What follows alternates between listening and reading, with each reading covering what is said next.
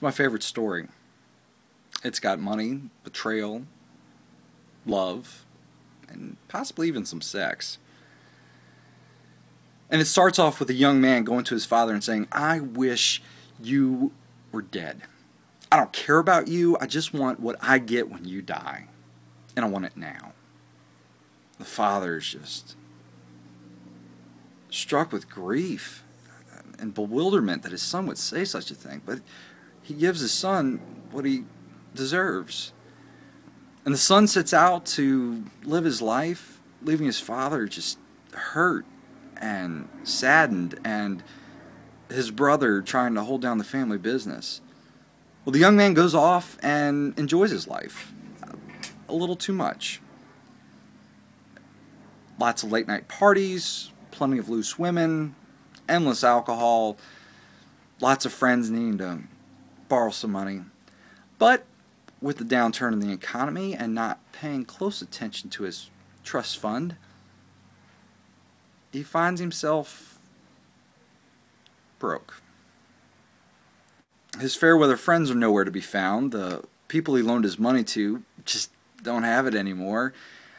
Loose women don't find him too attractive without the money, and you can't buy alcohol on credit. He's flat broke in the city with no friends and no family and nowhere to go. So he does the unthinkable. Uh, he tries to find a job, but nobody will give him one, so he settles for one that only illegal immigrants take because it pays so horribly. It's so nasty that even Mike Rowe from Dirty Jobs would find it appalling. He is sunk to the lowest part of his life and honestly doesn't know how he got there. He thinks, even the people who work for my father live better than this. This sucks. Maybe I'll just go home and ask my dad for a job. I'll swallow my pride and maybe become a janitor in his office. So, with his head hanging down low, he goes home. As he starts walking up the family driveway, his father looks out and sees him. His father's been waiting. Not to chew him out, not to chastise him, not to say, I told you so. His father's been waiting on him to come home.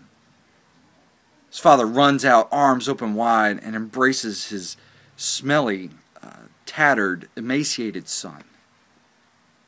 He says, I love you, my son. His son says, No, Dad, I'm not here. I'm not here to become your son again. I, I don't deserve that. I've done too much stuff. I have told you off. I have wasted half of everything you own. I'm just here to find a job. But his father won't have any, won't have that. His father says, You are my son. Nothing can change that you are my son. I'm just glad you're home. And he throws a huge party for all the neighborhood because he loves his son. Maybe you recognize the story. Jesus told it in Luke 15. It's the story of the prodigal son. And it is my favorite story. I think out of all the stories in the Bible, it's my favorite.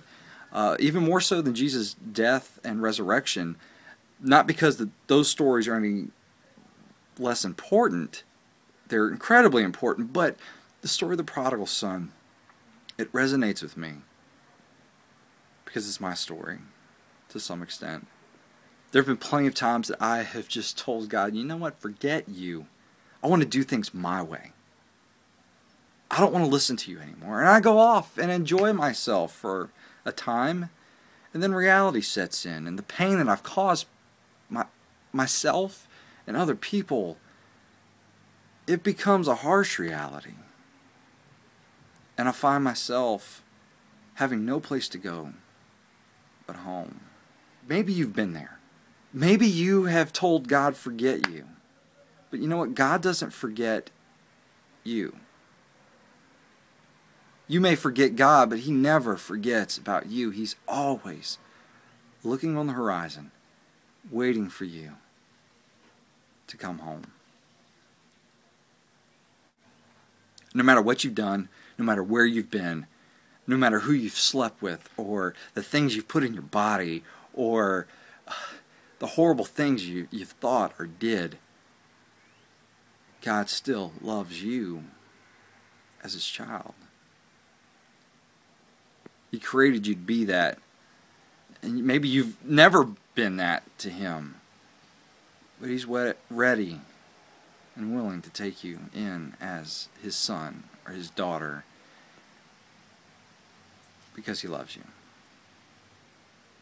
So, what's your favorite story from the Bible or anywhere else? And why? Why is it your favorite? What deep meaning does it have to you? Leave it in a comment or a video response down below. But know that God is just waiting for you to take that first step to come home. God bless.